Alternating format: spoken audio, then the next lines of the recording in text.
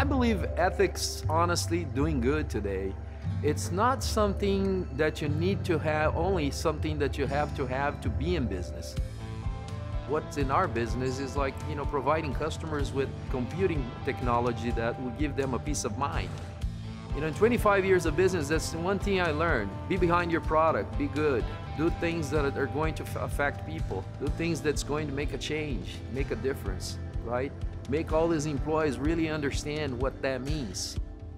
I think it's extremely important for people to understand that mission is absolutely a must. There's no other way.